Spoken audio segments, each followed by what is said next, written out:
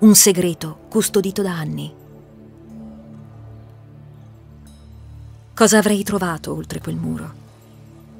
Il cinguettio degli uccelli si era intensificato, oramai era un vero e proprio coro e riempiva l'aria. In mezzo all'erba, la stridula orchestra delle cicale metteva mano agli archi per suonare l'accompagnamento. Non potevo più tornare indietro.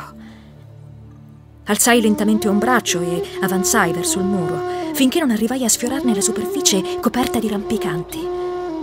Al momento del contatto con la pietra mi aspettavo che succedesse qualcosa di tremendo.